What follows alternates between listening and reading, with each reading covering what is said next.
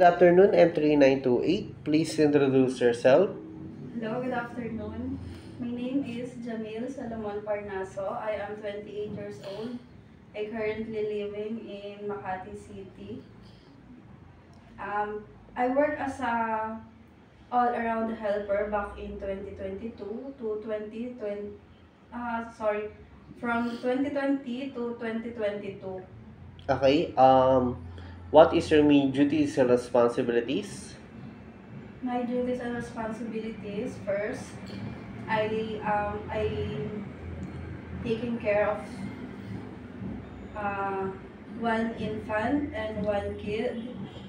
Uh, the infant is eight months and the, the kid is seven years old. Um, I also work uh, as a cleaner in their house and also I cook. I also cook and doing laundry. How many members of the family? There are five members of the family. Age? Um, the oldest is 55 years 55 years old. The second is 40 years old. The third is 35 years old. And the two kids, 7 and 8 months. What are you gonna do if the baby is crying? Um, usually, I fed her or carry her or play with her just to stop her, her crying. How can you put a baby to sleep? Um, I'm just giving her a cuddle until she's until she gets sleep. Okay, um, are you afraid of dogs rather pets, yes or no? No. Are you willing to accept the holiday set of employer? Yes. Do you eat pork? Yes.